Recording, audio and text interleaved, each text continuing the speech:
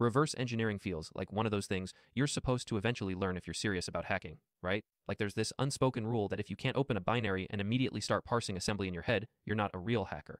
So you download Ghidra, fire up a random crack me, and the second it loads, you're greeted with lines like move EAX, D word pointer open bracket, EP minus 0x4 close bracket.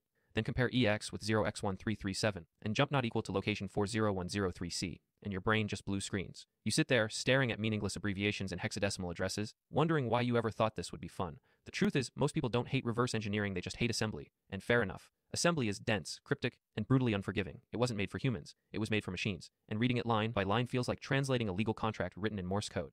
But here's the secret that nobody says out loud you don't have to love assembly to be good at reverse engineering. In fact, if you're someone who avoids low level code because it feels like mental torture, you might already have the right mindset because reverse engineering isn't about memorizing opcodes. It's about thinking differently. It's not about translating every instruction, it's about understanding the program's behavior. If you can follow logic, track cause and effect, and be stubborn enough to poke at a binary until it gives up its secrets, you're already halfway to being dangerous. I want you to remember this you don't need to be some assembly wizard to reverse engineer code. You don't need to read every instruction. You don't need to like it. You just need to outsmart it. Reverse engineering is just debugging backwards. And if you can stay curious and ask the right questions, you'll go farther than people who memorize opcodes but don't actually know what they're looking for. So yeah, go ahead. Hate assembly. It doesn't care. But learn how to beat it anyway. That's what makes you dangerous.